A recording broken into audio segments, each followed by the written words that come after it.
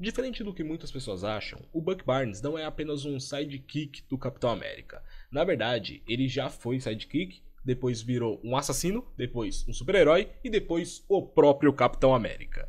Então hoje vamos conhecer um pouquinho mais do Buck Barnes que está prestes a ganhar a sua série no Disney Plus, que ele vai co-protagonizar junto com o Falcão.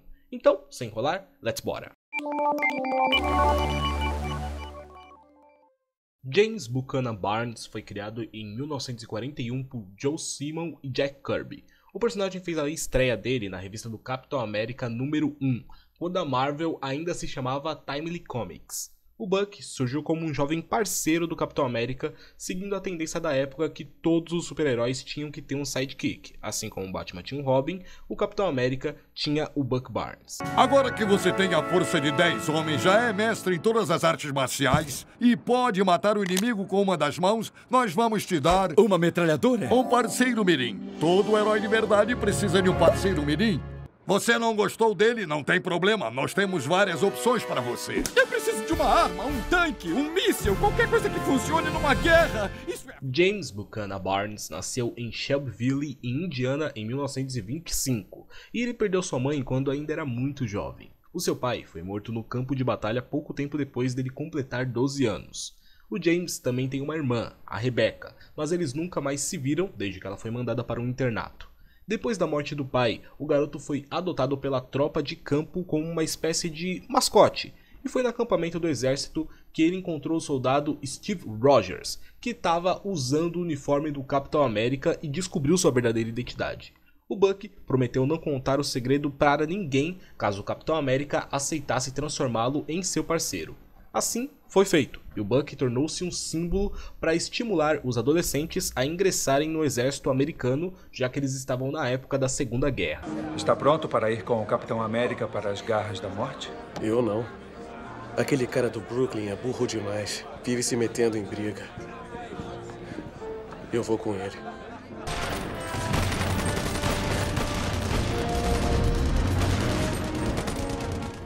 No final da Segunda Guerra Mundial, o Barão Zemo lançou um avião não tripulado que estava cheio de explosivos e mataria milhares de inocentes. O Capitão América e o Buck perseguiram esse drone e conseguiram alcançá-lo. E o Buck tentou desarmar a bomba, mas ela acabou explodindo com os dois heróis a bordo do avião. O Steve Rogers caiu nas águas geladas do Atlântico e o seu corpo foi congelado por décadas, até ele ser encontrado pelos Vingadores.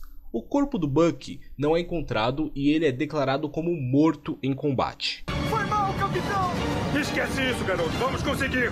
Não, quer dizer, foi mal! Mas o mundo precisa mais do Capitão América do que do Buck! Não, Buck! Não! Buck!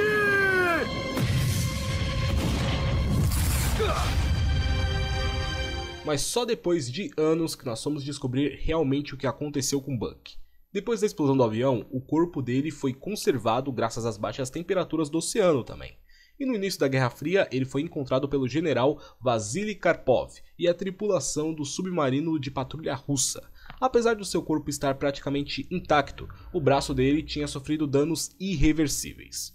O Buck foi levado até a Rússia, onde foi reanimado. Ele havia perdido sua memória como consequência da explosão, e os cientistas aproveitaram da condição dele para inserir falsas memórias na sua mente. Ele recebeu um braço biônico e se tornou uma verdadeira máquina de matar, conhecido como o Soldado Invernal a trabalho da União Soviética. E quando não era usado em missões, o Soldado Invernal era congelado novamente. Isso explica o porquê o personagem não envelheceu ao longo de tantos anos. A maioria dos grupos de espionagem não acredita que ele exista. Os que acreditam o chamam de Soldado Invernal. Ele é rápido. Forte. Tem um braço de metal. E antes de voltar a aparecer entre todos os super-heróis da Marvel, né? O arco do Soldado Invernal do Ed Brucker, nós vemos que o Buck, nos tempos da Guerra Fria, já tinha conhecido a Natasha Romanoff, a Viúva Negra. Inclusive, ele teria tido um caso amoroso com ela.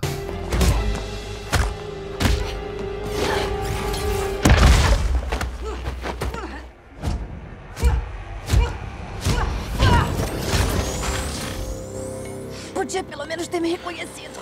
Após ser designado para matar o Caveira Vermelha e recuperar o cubo cósmico, o Soldado Invernal reencontrou o seu velho amigo de guerra, o Capitão América. No fim das contas, o Steve Rogers acabou utilizando o cubo cósmico para restaurar as memórias do seu parceiro. O Buck, envergonhado com tudo que ele fez, acabou fugindo, determinado a acabar de vez com a vida dos que transformaram ele no Soldado Invernal.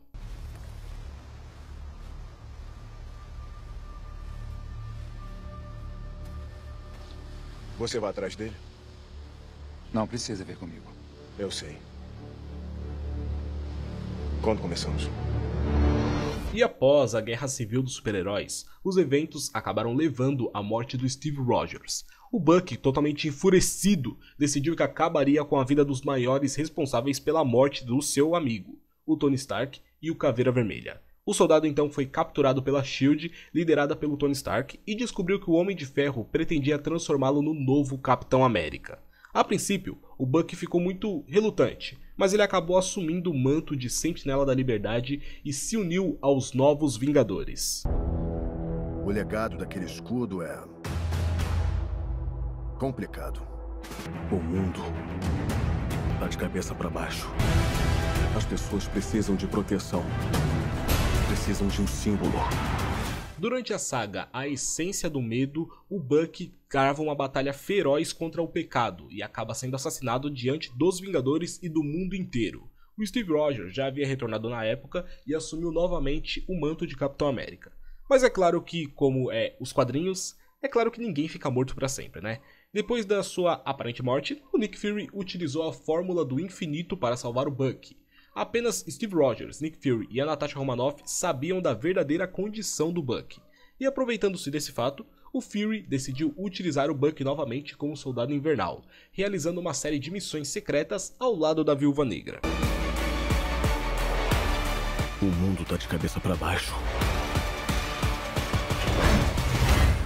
Onde começamos? E você olha e fala assim: nossa, beleza, ele tem um braço de metal e ele realmente é um super-herói por causa disso? Bom, o braço não é simplesmente um braço de mental, uma simples prótese. Além de possuir super força e reflexos aumentados por si só, o braço também pode ser controlado à distância, mesmo que ele não esteja conectado no corpo do Buck. Além disso, ela também é capaz de emitir rajadas de energias da palma da sua mão e impulsos eletromagnéticos capazes de gerar um apagão em um bairro inteiro. Ele também possui uma função de holograma, que é capaz de disfarçar o braço para que ele se pareça com um membro normal, assim ele pode se passar por qualquer pessoa. Constantemente, essa prótese passa por atualizações para se tornar ainda melhor e mais letal.